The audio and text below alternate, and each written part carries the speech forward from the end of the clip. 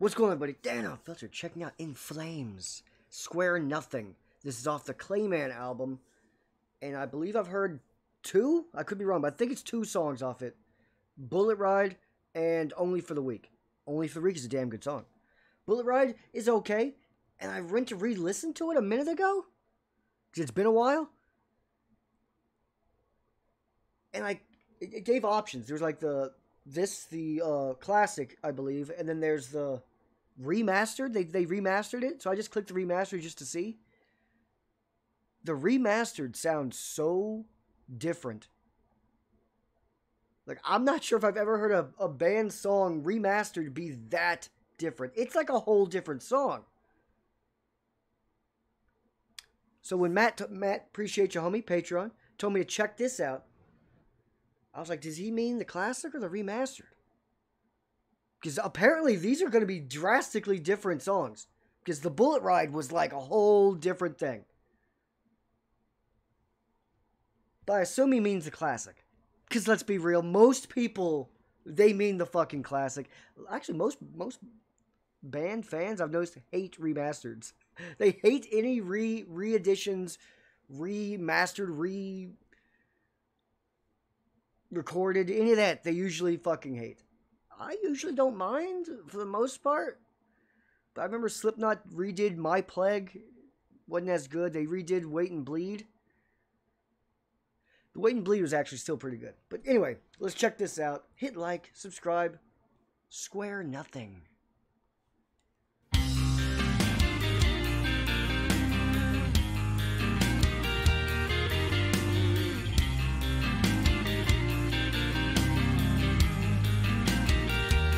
Metallica sounding intro.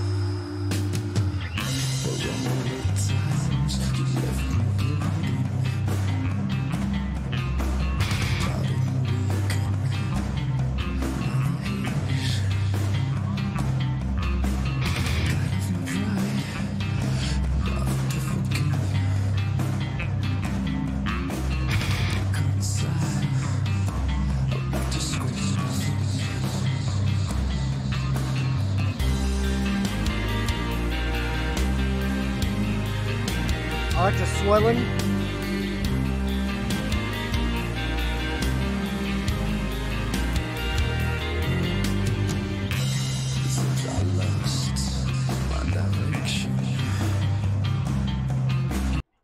I will say, I love the sound, but I will say, what the hell that was. But I will say, um, I could see why they wanted to re-record it or remaster it because the the vocals are really low. They are. But can't you just if you wanted to do that just in the mixing just turn up the vocals, don't completely change them. Now I'm not sure if they did that for this song, but uh, again, for Bullet Ride it was cl- like way different vocals. Like the whole vibe of the fucking song was different because of it. So I'm not sure if they do that here, which worries me because I do like this vibe. If anything, I wouldn't mind them turning the vocals up a hair, but not too much because it's kind of what sets the the the, the tone here. Kind of like a Nine Inch Nails "Hurt." Anyone knows "Hurt"? If you listen to that, the vocals are very low throughout 90% of the song. Until the end, the vocals are really low. If someone did that now, they would probably want you to remaster it and turn his vocals up. But it would kind of fuck up the whole vibe of the song. It's kind of what makes that a masterpiece. So I don't know. I, I could see why someone would tell them to remaster it. But they, it's probably best part being left alone. Just saying. But I could, I understand why the thought process.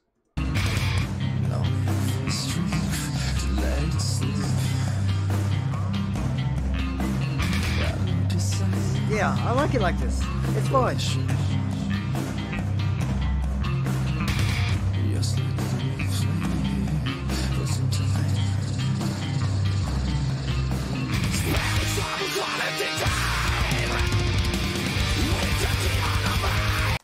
Andrew says, "Turn what up, huh? You got a you got a fucking Q-tip? Yeah, loud enough for you now, Dan."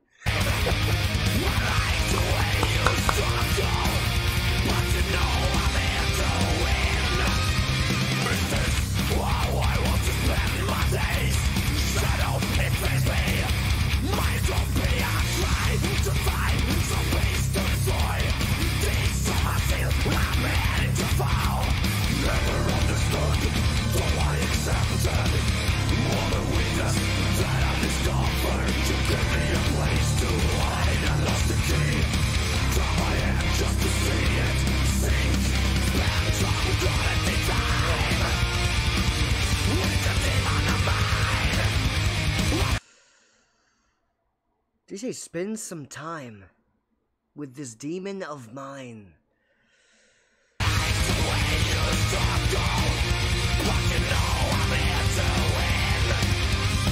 Talk.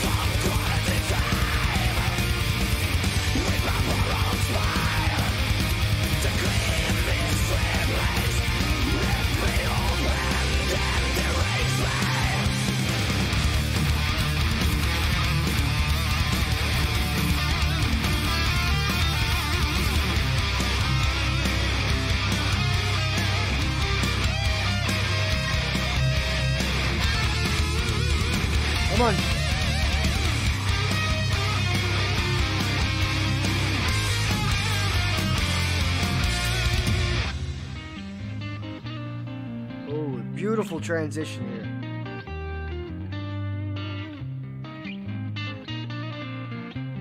Talk.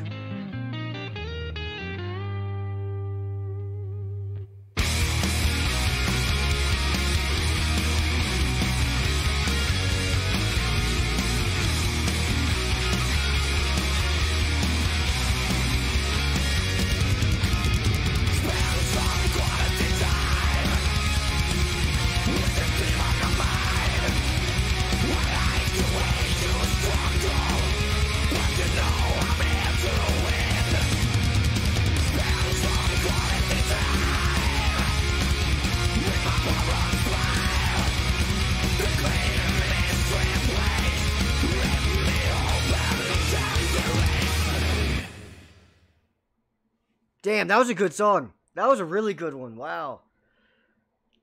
Is that my favorite from the old? Because again, I like to say I do prefer the sound of the more recent In Flames because the band has changed so drastically. But this is up there for me. This is a damn good one. See, like that. Like that. I spoke too soon about may I was like maybe turn him up a little. But by the way the song changed, that was just a tone setter. That was on purposely low. Because it never got low again. Once the chorus first hit, he stayed in that zone. Now I almost want to hear what the remastered sounds like. Let's just take a test, a quick test, because I should have it up here somewhere. Because I, I I had like the choice, and I was like, I'm gonna go with the original but just in case. All right, let's just see.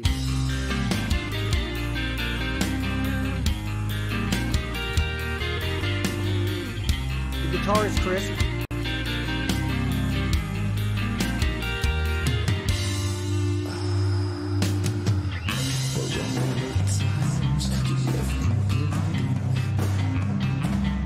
It's still low.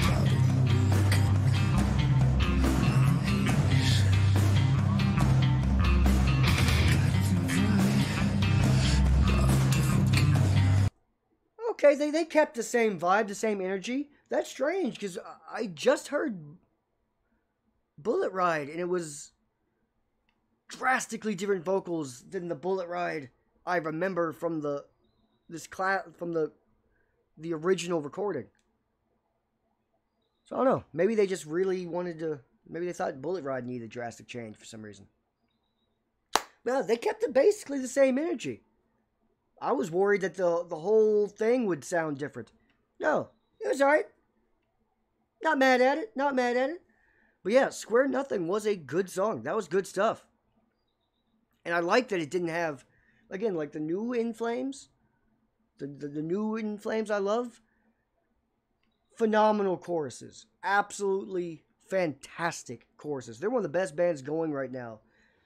That for four choruses to me. But I do like that the old In Flames, the choruses aren't as crisp, they're not as clean, they're not near as refined. And in Square Nothing, there really wasn't a there was a chorus, but it wasn't like here comes clean vocals. You know what I mean? I liked it, man. And also shout out to the the remaster too. I haven't listened to the whole thing, 30 seconds, but they kept the same low energy at the beginning at least, so it's not a drastic slaughtering of a song. I truly expected it to be completely different vocals. But hit like, Matt, appreciate you, homie. if you are still here. every time I, I always want to say Clayface. It's it's Clayman. This album. It's I always want to say Clayface though, because the fucking Batman villain, a real one.